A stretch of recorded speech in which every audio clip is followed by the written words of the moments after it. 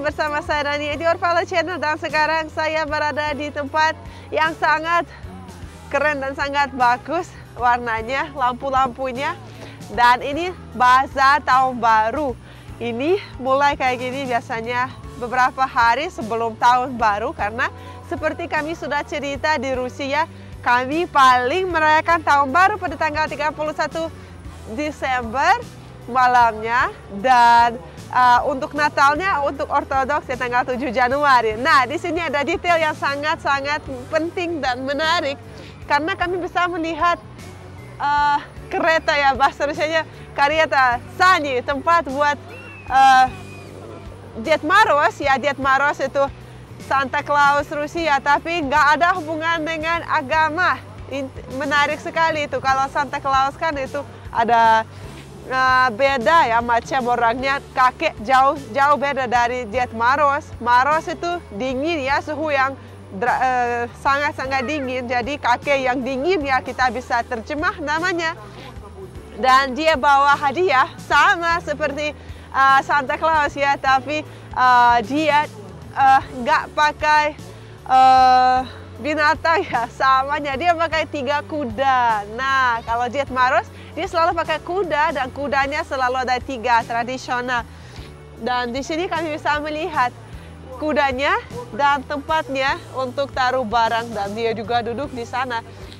Percaya enggak sama ya uh, banyak anak kecil tetap tulis uh, surat ke Jet Maros setiap tahun untuk minta sesuatu uh, kayak sebagai hadiah ya. Dan juga lucu kalau banyak orang tua pakai baju Jet Maros dan datang ke rumah dan kasih hadiah terus pergi keluar. Baliknya kayak pakai baju normal biasa kayak oh papa tadi saya ada Jet Maros yang datang dan biasanya ayah yang main Jet Marosnya. Dia kayak oh ya gitu ya pura-pura nggak tahu.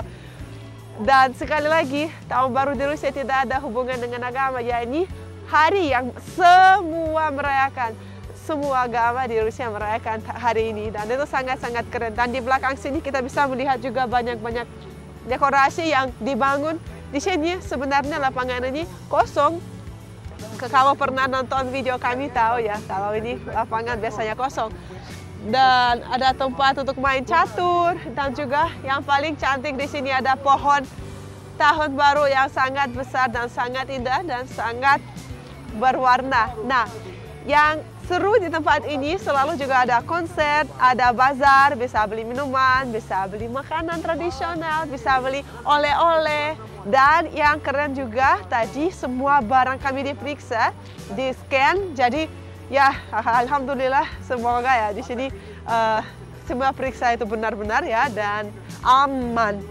Banyak polisi di parkiran juga ada polisi yang jaga jadi kita bisa santai untuk menikmati dan juga suasananya sangat luar biasa. Sekarang nggak dingin sama sekali uh, karena nol derajat, nol derajat. Sebentar ya, tak kasih tahu. Nol derajat sekarang itu, oh nol. Jadi bukan minus, bukan plus, nol ya. Dan sangat-sangat banyak salju dan jam segini udah gelap, padahal masih setengah sembilan. Untuk musim panas itu kebalik ya. Oke, okay, kita mau lihat uh, yang apa yang konser ada di belakang dan juga mau nitip ke rumah-rumah. Kalau saya nggak salah sebelah sini ada pohon, terus di sana juga ada rumah kecil dan ada kalau orang Indonesia di teman Nurfala ada beberapa yang tahu cucunya si Diet Maros adalah Snigurechka ya yang membantu kakeknya untuk uh, persiapkan persiapan semuanya yang penting untuk merayakan tahun baru. Dan biasanya Snigurishka itu pakai baju biru dan Diet Maros pakai baju merah. Bedanya dengan Santa Claus kalau uh, mantelnya Diet Maros itu panjang sekali. Jadi sampai kakinya dan dia juga bawa uh, semacam uh, bahasa Rusianya posek uh, yang kayak pak nggak tahu namanya oke okay.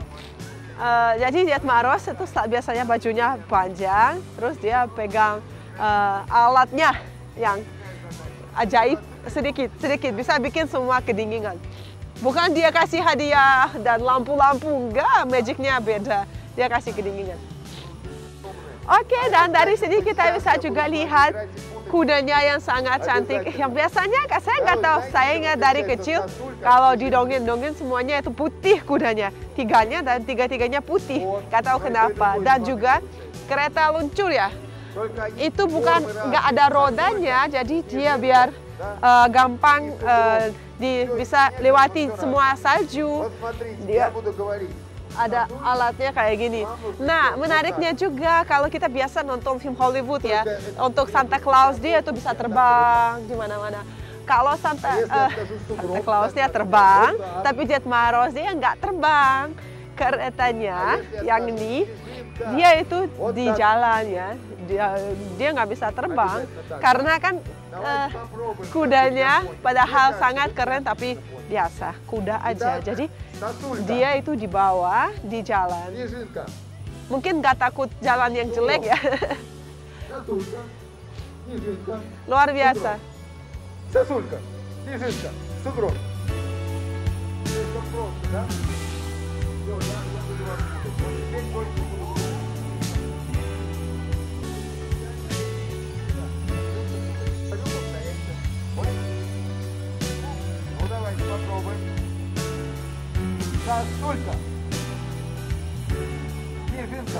Di sana kayaknya ada banyak makanan juga dan minuman.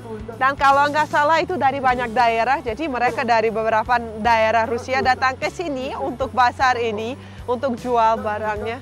Ada madu, ada minuman hangat, ada pakaian hangat sebagai seperti sarung kaki atau uh, sarung tangan, juga topi yang buatan wool yang benar-benar bagus.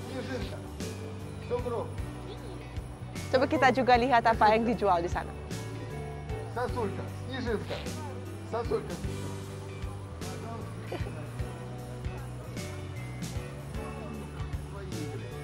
Oke, kita lanjut jalan-jalan di di sini di bazar tahun baru dan ketemu cucunya Diet Maros yang namanya Snigurочка. Uh, sebenarnya sangat-sangat keren dan anak-anak itu mau foto-foto semua di sana.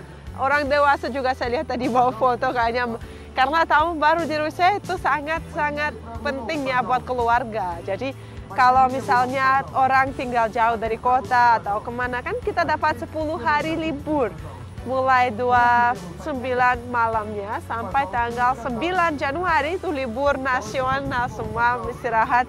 Jadi keren sekali bisa datang ke pulang kampung ya.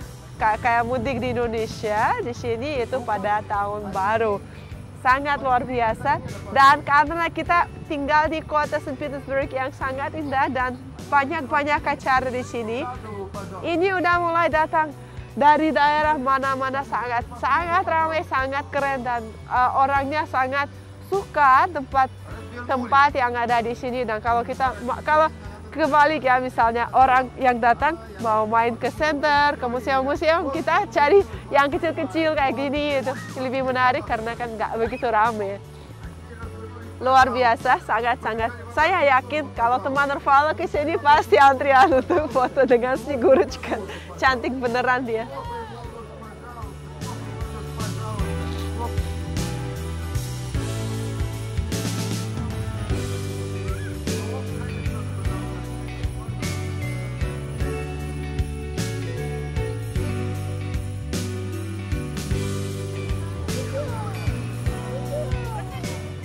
Можно, да? Какая вы красивая, сказочная Снегурочка. Давайте обниматься. С Новым годом! Спасибо большое. Надеюсь, не замерзнете. Super, super senang orangnya sangat ramah dan dia bilang nggak kedinginan nggak karena tadi saya tanya semoga mbak nggak kedinginan dia bilang nggak sama tahun baru wah luar biasa suasananya kan cewek cowok dewasa tetap merasa seperti anak kecil pada tahun baru. Bentar lagi ya. У лукоморья дуб зеленый, золотая цепь над убитом, и днем и ночью косы черный, все ходит по сети кругом. Александр Сергеевич Пушкин ini kata-kata yang awal untuk dongeng yang sangat-sangat saya suka Ruslan dan Ludmila. Nah, di sini kami bisa melihat pohon ek ya yang dari dongeng Pushkin dan juga ada kucing yang sangat luar biasa kucing itu sesuai dongeng sangat indah dan dia bisa cerita dongeng-dongeng juga. Nah, ada yang belum baca coba aja cari pasti ada terjemahan dalam bahasa Indonesia. Dan anak-anak juga banyak yang mau foto di sana, kayak jadi kayak rame-rame gitu. Kayak rasanya kayak di dongeng sebenarnya. Uh, padahal di sana nggak ada salah satu kata tentang tahun baru, tapi tetap pohonnya ada juga di sini. Jadi sekali lagi pohon ek dari dongeng Alexander Sergei Pushkin.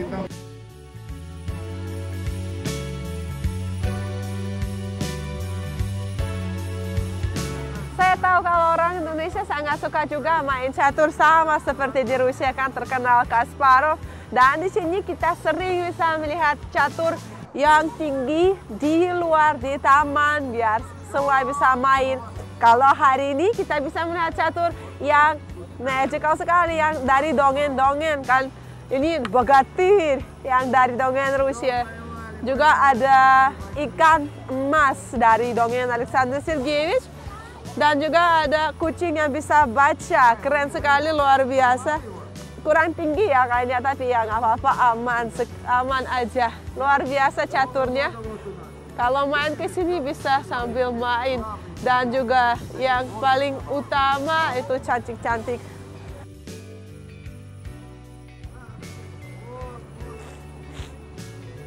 Oke, dan seperti kami bisa melihat di sini dijual juga gingerbread ya bahasa Rusianya prianik, ada madu, ada minuman, ada oleh-oleh keren sekali banyak dan kita belum coba sebenarnya tapi saya tahu biasanya madu itu paling laku pada musim dingin karena kita biasanya minum teh pakai madu. Bagus banget semuanya buatan tangan, buatan kayak dari apa kayak fun-fun yang lokal ya semuanya lokal nggak ada import. Oke, kita mau lihat aja dulu. Ayo.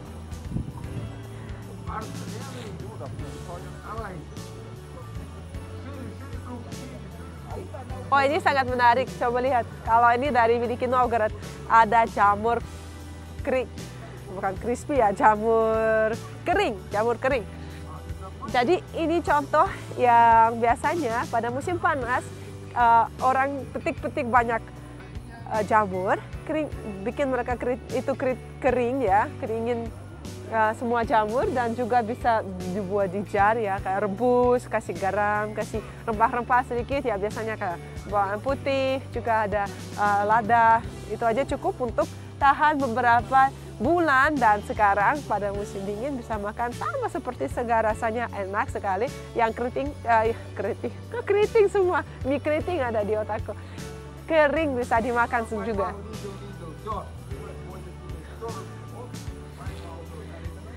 Ini daging, juga ada keju, ya bikin lapar.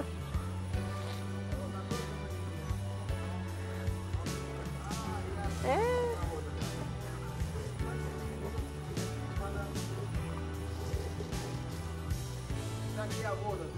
Nakal dikit boleh nggak? uh, minuman hangat.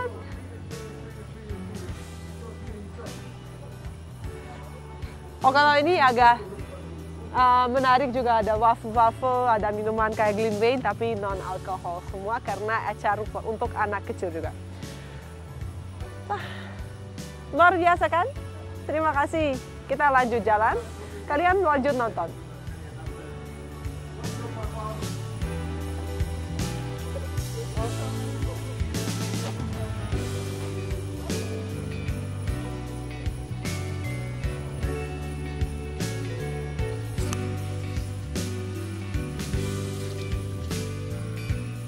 kami ketemu sangat keren buku yang besar dan di sini ada dongeng dari Alexander Sergeyevich Pushkin tentang uh, pitu Zlatom Pitukhia, сказка Zlatom Pitukhia. Uh, kenapa ya? Karena memang di Rusia itu anak-anak dari kecil disuruh baca dan semua dongeng-dongeng ini terkenal dan anak-anak dan sampai dewasa semua baca dan sangat suka. Ini salah satu contoh dan salah satu bukti kalau Rusia itu negara yang sangat suka baca buku.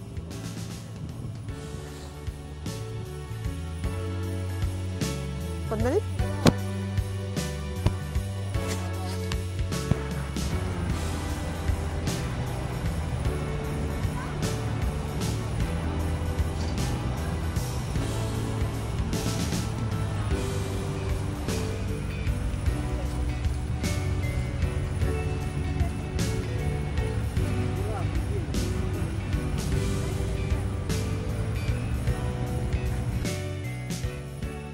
Selamat tahun baru 2024 dari Rusia St. Petersburg dari tim kami ke semua teman-teman Norvala dan semoga semua mimpi kalian jadi nyata di tahun depan.